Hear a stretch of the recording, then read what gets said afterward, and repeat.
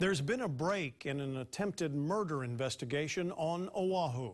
Honolulu police have found the car that was involved in Tuesday's hit and run in Ewa Beach. We just received new video of the car with its windshield smashed. The Hyundai sedan was found in Whitmore Village in Wahiawa shortly after 8 o'clock tonight. Witnesses say the driver of the car intentionally hit a group of people on Fort Weaver Road and sped off. An 18-year-old woman remains in extremely critical condition. The suspected driver of the car, 20-year-old Malik Morton, turned himself into police yesterday. He was booked on two counts of attempted murder. Morton has not been charged but remains in police custody.